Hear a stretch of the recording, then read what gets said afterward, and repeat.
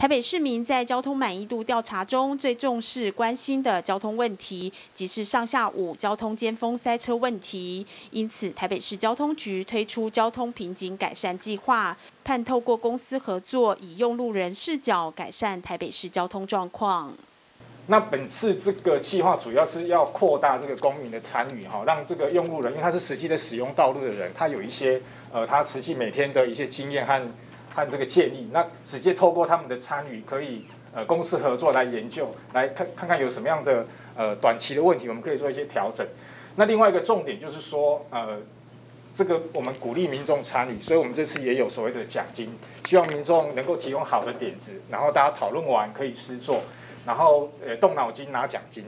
啊，就是说民众他针对他知道的这些瓶颈路口，他有一些改善的构想，那这些构想他把它具体化、书面化以后。跟我们的交通大队这边啊，等于是交大是一个受理的窗口。那交大这边会初步去判断民众这个提案是不是具体的，哦，有些可能它是比较呃比较广度比较宽的那种，我们大概就会比较不需要再做一个处理了。那另外一个就是它如果很具体，就说这个路口我需要做什么样的一个调整，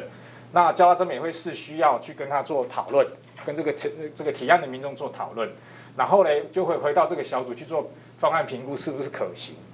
那如果说，哎，我们初步判断是可行，专案小组这边就直接跟民众啊，用一个会看的方式去去现场，去确定这个方案如何的执行，改善方案的细节是什么。然后呢，机关就会直接去派工，例如说这个是交通处的部分，交通处就会直接去派工。那后续做完之后，就会去评估它的一个改善的绩效。那专业小组会给他一个评分，这个评分就依照前面所提的，这个评分的分数的高低，就会跟他的奖金。有关有关联哈，交通瓶颈的改善呢，其实都有一个机制在，一直在运作。就刚刚前面那个交交通流畅小组那部分，那我们这次比较不同的就是希望能够透过全民参与的方式哈，跟政府一起来合作，双管齐下，看是不是能找到一些也许我们不知道的一些这个交通拥塞的一些地点或者是一些方式方改善方案。所以，我们这不同就是全民参与的这部分，把它加进来。平常本来就有民众在建议的，那可能都是比较零星的一些好建议，比如说哪里要禁止停车，哪里要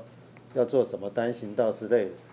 那我们这次是把它弄一个专案处理，是希望呃，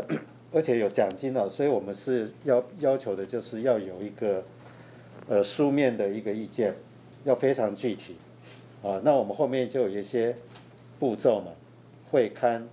那若可行，我们去做，做了有成效，我们会给他一个回馈，一个奖金。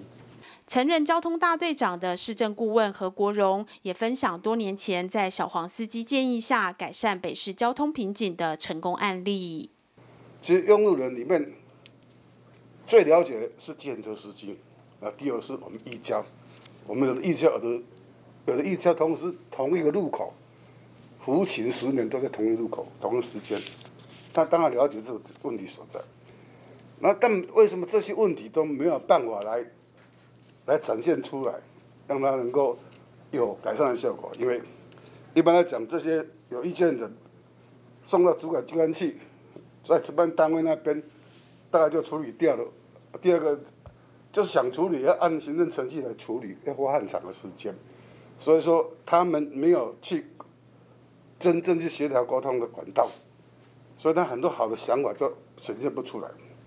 盐山，盐山隧道是台北市北区最大的交通瓶颈，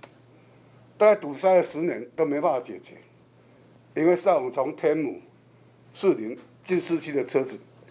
跟大竹内湖、啊北安路的车子在盐山隧道口交织，然后再分流，有的走新北路高架桥，有的走双山北路平面道。他跟我建议什么？他说叫我把这个叫其实别高架桥，这个叫滨江街下坡口。他要我说，班长，你上午就能把滨江街下坡口封掉，才能改善连山隧道交通。这个违反常理，因为我毕业，我教我我警察大毕业就在连山隧连山隧道下面的交通分队当分队长。我看着盐山这个交通已经看了几十年了，车子只要上了新车，别个高架桥，没没有一个下坡我会塞车的。啊，不管说滨江也好，长春也好，长安也好，啊，金山也好，那都一路顺畅。你怎么叫我封住路干什么？他一语惊醒梦中人，他只跟我点破一点，我就懂了。我们每警察每天在那胡琴，都没有人想到这个问题。他说，这个车流下来，它经过盐山隧道之后，进入新梅高架桥往南走，第一个下坡口就是滨江下坡口，因为它下来之后要左转，左转啊，左转之后滨江街之后建国南路南下有个路口，建国高架有个路口，他只要进入那个路口哦，上建国南高架桥，他往东往南就一路顺畅，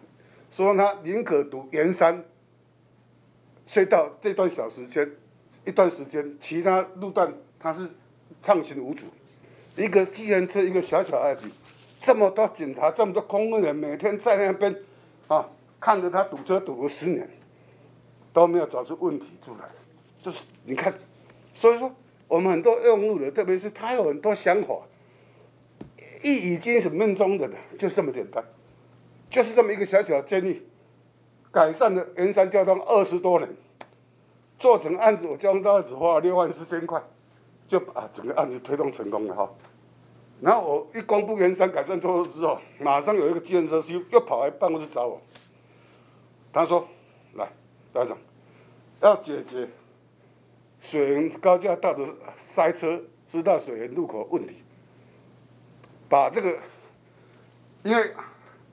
知道水路口这个这个快速道下来之后，跟慢车道有个快慢分隔带，对不对？